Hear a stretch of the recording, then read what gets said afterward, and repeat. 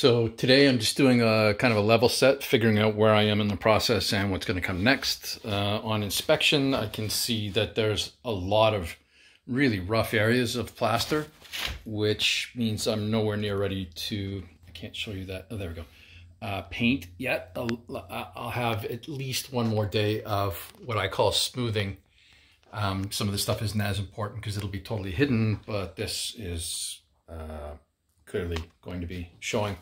I need to move that a couple of feet, feet, inches, centimeters, whatever, up here so that the bottom of it is above the, um, the line of the cabinetry, so somewhere up here.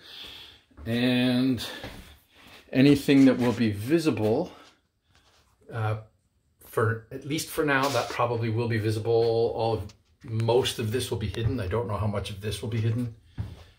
Um, That'll probably be hidden by cabinetry, but this will be available, uh, visible, sorry.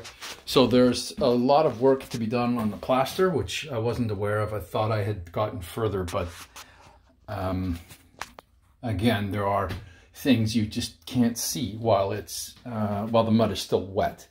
So a big day of sanding tomorrow, and then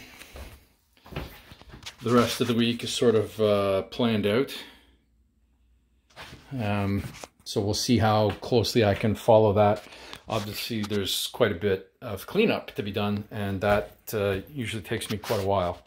So we'll see. Right now, I'm having trouble finding the cabinet that goes above the, the microwave. So you can see that I've got a line. I know how big it is. So at one point, I knew where to find it. And now I can't. So right now, I got, I've got all of this cabinetry just sitting here completely in the way. Much of it I already, like this thing here, I have no idea where I would put something like that in this house. Maybe up here? I don't even know.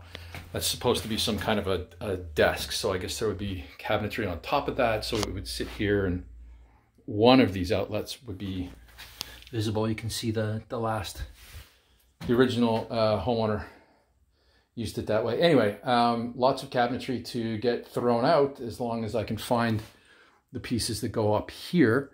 I'm not opposed to building my own. I just didn't want, didn't expect to do it this early. That's why I bought all this uh, uh, crap was to um, avoid spending time on that. I just need to get a, a kitchen up and running. I don't need it to be nice. So anyway, that's where I stand.